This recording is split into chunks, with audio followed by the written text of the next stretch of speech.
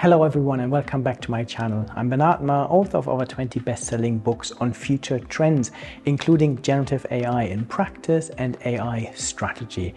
Today we're exploring a crucial topic. Will AI bridge or widen the social and economic gaps that we have in our world? As AI reshapes various sectors, its impact on inequality is profound and multifaceted. AI's integration into daily lives is accelerating, offering both promise and pitfalls. On one hand, AI has the potential to enhance accessibility to vital services, making things like education, healthcare, and essential goods cheaper and more efficient. This could significantly improve the quality of life for many and potentially reduce poverty levels. However, there are also significant concerns.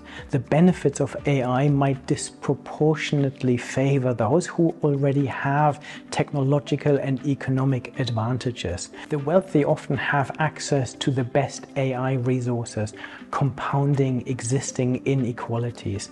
Additionally, as automation increases, lower income jobs in sectors like customer service and transportation face higher risk of redundancy, which could increase unemployment rates among the most vulnerable.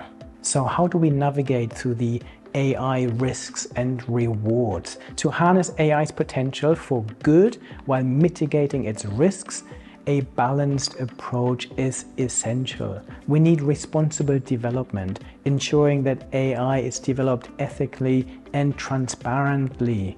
AI systems must be designed to avoid biases and ensure fairness across all demographics. We also need regulation and oversight. Governments and international bodies must play a key role in regulating AI, ensuring it is used responsibly and does not harm societal equality. And then we need education and training. Investing in education and skills development can help prepare the workforce for the AI driven economy, providing new opportunities for those displaced by automation.